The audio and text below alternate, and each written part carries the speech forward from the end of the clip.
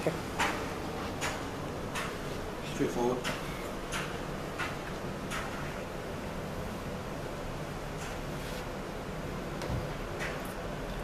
So if I line it straight on two straight, it should be three at the bottom, two at the top, and just go in one straight line. Mm.